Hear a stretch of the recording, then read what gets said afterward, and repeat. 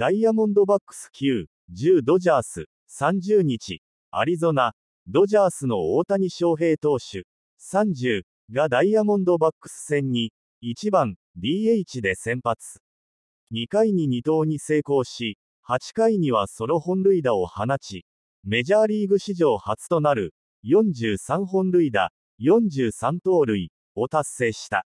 写真、ソロ本塁打を放ち、メジャーリーグ史上初となる、43本塁打、43盗塁を達成した大谷翔平。この試合に先発したド軍、カーショーは1回に2失点。5-2の2回には先頭のキャロルにソロ本塁打を被弾し、トレーナーがマウンドに駆けつけ、1回3分の0、3安打3失点で降板した。試合後、カーショーは、左足の親指が痛くて、力が入らなかった。